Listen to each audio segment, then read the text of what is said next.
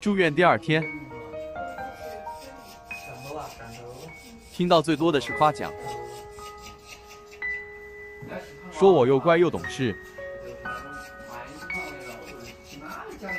狗狗心事，人类有时不懂。干嘛？想家想学吧，特想小伙伴。我想去巡逻，和狗友玩闹欢乐多。